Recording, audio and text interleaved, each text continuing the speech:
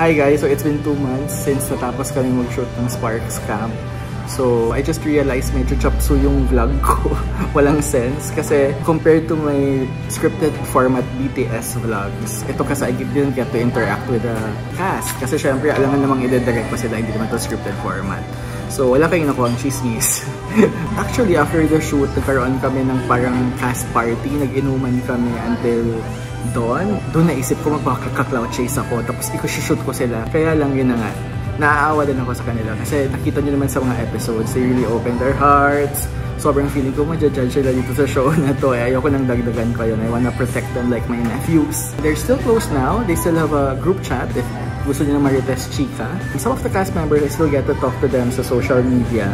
Um, chat-chat lang. And then finally today, namit ko yung dalawa sa kanila. I will, I will interview them para sa inyo. I will just ask them kung kumusta sila after 2 months. Kaya ito, ito naghahawak ng camera.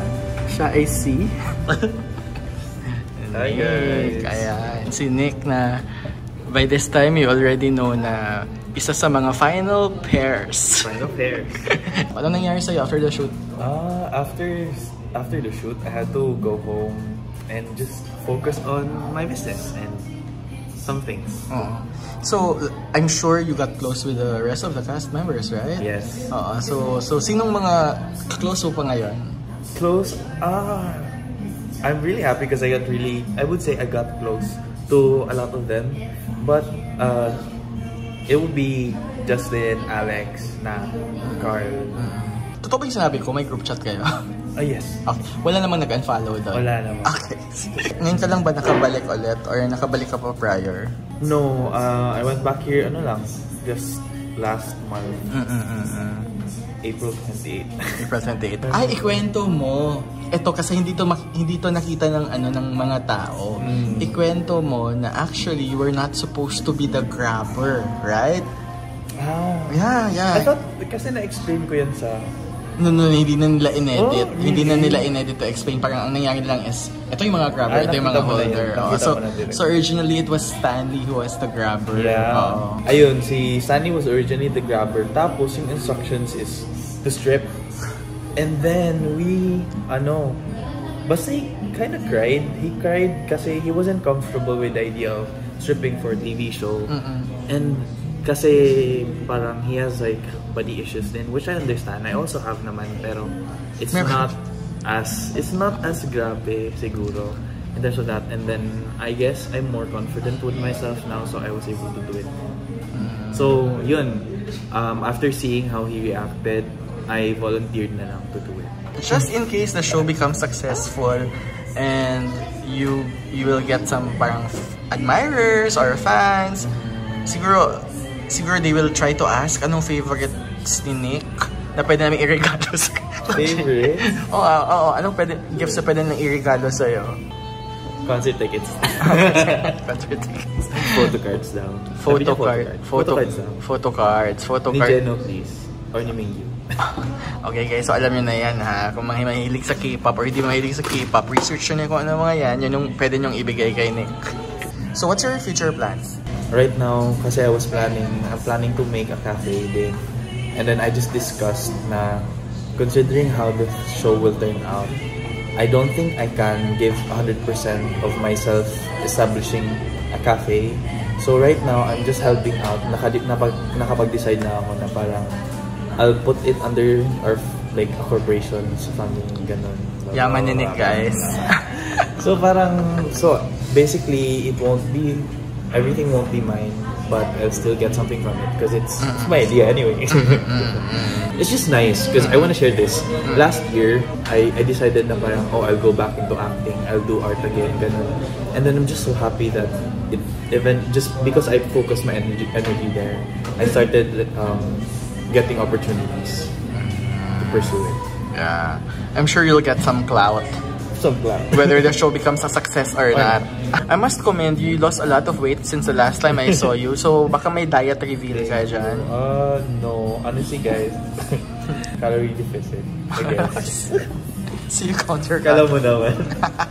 Okay, thank you Nick. Sana hindi natin na-interrupt yung kasama nating camper na nag-aaral ngayon ng med. So, hindi ko alam. Mamaya.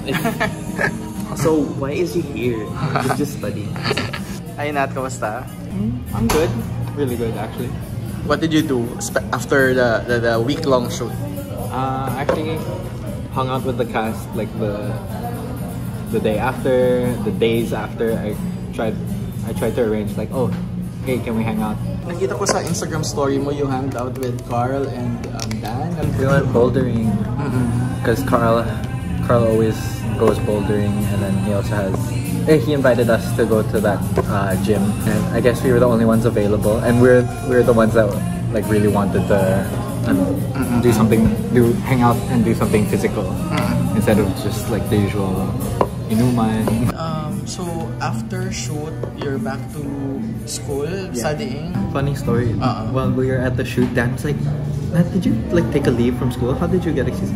Because we're we're the students.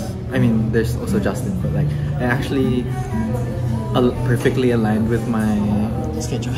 with my school break. Every Ah, semester so- we have one week one week of like mental health break Ah. and sakto. I mean, we had projects to do. We, Mm-hmm. we got assigned a paper, and I did a paper while we were at the camp. I got the grade back, 96. Talino! Ang talino! Ever magkakaroon ka ng mga fans or sa show or admirers, anong gusto mo? Sakla tayo, anong gusto mong regalo nila sa'yo? Um, I don't know if if Nick said photo cards. I mean, I have a lot also. You know what and I I'm want? interested in the same. I know now what I want. Tickets for s- massage. Ah, like, like promo. Yeah, or coupons. Like coupons for massage. to make up for the to make up for the spa day. ah, to make up for the spot. Ay, yeah, yeah, the spot. I had one. Oh my god, that was so bad. If you guys see the show, the moment we sat down, Stanley talked about how how much he likes Aaron. How much he likes what? Aaron. He was like, oh, I really want to meet Aaron. I was like, nobody liked me at that time. Back to the fan thing. Ah, yeah, okay. I thought of something really smart. Uh-uh. Na for like when people try to gift me something, I asked for things for my dogs. I realized instead of items for me, I prefer when I have funds to buy toys for my dogs. So I asked ni kung sinong kaklose mo pa ngayon sa mga campers. Sinong kaklose mo ngayon pa? you didn't say that. Oh my god, I'm sorry. I'm close with Dan also. Oh, just wanna, nag-date- nag-date just in case eh. he sees this. Fellow Swifty kayo eh. Oo. I forgot. Sorry, Dan. The ones I actually get to hang out with Carl and Nick, and then sometimes Dan. But then the ones I talk to, like online, only, sina Gabe and Aaron. Hi, Dan! Ang cute-cute naman ni Dan. Okay lang. Kumusta ka? Kumusta ka? Dapat food part. I-vlog pa din siya. Hmm, Ito nga, binablog ko. Yeah, like where Rodix is. Sorry, this, I still not. Not really. Yung, yung good food part. Kaya lang gusto niya ma- matikman ni, Nat, ni Nick ang Rodix eh. Well, it's yeah. May Rodix ba doon? Ay, wala. But I'm really full. Sa area to. It's parang breakfast food. Tapsilog. Tapsilog. Oo. Pero I'm still full right now. Mm. But I'm good. Ikaw lang magtutour kay Nick sa UP campus. Tagal na ba? Let's go? Okay. Oh guys, dinner muna kami. Mamaya ko na interviewin si Dan for my vlog. Sino? In love ka ba ngayon? He's broken hearted. Broken hearted! Kaya pa, pwede It's like 9 hours. In between projects. So I'm just doing editing for Sparks Camp and for You know, I Sorry, yun ba yung tanong mo? Okay. Parang ang dami niyang, ano, chika. Yun nga, daga-dagetso yung ano, ngayon wala na. Like in your head, TikTokers studios. Hello. We are in UPD. Um, ano? Taking around our foreign tourist. Ah, foreign. Foreign. ano? Basta the tourist. the tourist. With uh, UP Law. Yes. UP. Alumni. Professor. ano course? Course, course. Ah, Broadcom. Broadcom and uh, Katip Anak ng Crack San, Chaser. san mga taga-UP. Ah, yeah. Uh, someone who wasn't allowed to apply to UP. My mom didn't. She's like, you're gonna get bullied. You're gonna get eaten alive. Oo. Tama naman. Totoo, totoo. The lighting's good. So, It's the phone siguro. oh yeah, Pro Max. Ay, Saan maglalag? Hindi yan Pro Max. Pro. Pro lang. so still walking around campus pero napaka Studio. studios itong si Dan Galman. For clout lang po pagiging studio. May kailangan siyang isubmit sa class niya dito sa College of Law. Saan ba yung, ay ito pala yung College of, ay, saan ba? Ayun, ayun. Yun. So, nag-stop muna kami habang ang aming turista ay nagtitake ng picture. Saan na ba yun? Hindi ako marunong talaga mag-vlog. So we're going to eat dito sa Rodix kasi para ma-experience ni Nick ang Rodix Tapsilog. Yeah.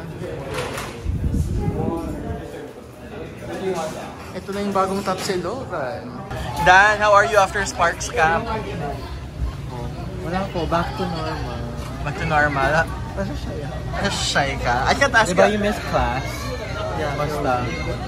Kasi diba I didn't miss class? You're, able, you're able to? I was able to catch up naman. Okay. midterms sa few subjects, I think okay naman for fun. So, Anong ginawa mo right after Sparks Camp? pag pagbalik ko po, nag-class ako online. Tapos natulog ako for 8 hours. Nagising ako 2 a.m. Tapos just enough time to prepare sa photo shoot nung 5 a.m. call. Oh my god. Wait. I forgot we had to. I forgot it was 5 a.m. I got there late. Dan, pag may admirers ka from, sa show, anong gusto mong i-regalo nila sa'yo? Protection. Physical gifts eh. like, photographs. Oo. Eras Tour Taylor Swift concert ticket. Oo, ano na yung gusto mong, yung parang gusto mong i-clarify? And you can defend sa'yo? yourself. Yeah, you can defend yourself now. First of all, lagi ko ino-overthink to direct, I swear, na first of all, na-caught off guard ako sa question about yung ano, yung Gabe's experience about the Public. the public sex sa car. Ah, first of all, tama Yung pa rin yung answer ko. Wala pa rin wala pa tama pa rin yung answer ko na wala pa rin naman talagang law prohibiting yung mga ganun except ordinance sa QC I think meron. Kasi in-overthink ko, mamaya sabihin akong bobo ng mga tao sa kung at ganyan ka sumagot, law student ka ba talaga? Sinong ano, sinong kaklose mo pa rin ngayon, hanggang ngayon sa mga campers? Me, because I'm very chica with everybody. We're like besties. Yeah. Besties. So this is the famous Ro- Rodix Tapsilog. Oh. Sobrang sikat to sa UP Dan, right? Apparently. Apparently. sikat to nung bata pa ako, guys. That was a good dinner in UP. How was your UP experience, Nick? um, it was polarizing. big word, big word. Big word. So we had raw dicks, we had Snake, uh, Snack Shack. Didn't we? raw dicks. Huh? Yes, yes we did. Snack Shack. I had two. Tapos we walked sa oval nila direct. And now they're taking me home. Because we have As a classes. passenger. Yes, as a passenger princess, I really appreciate this direct. May bayad to direct. Okay, thank you. Bye, support sports good night. Curious pala ako, anong ginawa mo after the shoot? Anong ginawa ko after the show? Um, dumiretso ko kaila sa bahay nila Justin. Ay, Saan sa QC? opo sa views. Anong ginawa niya doon?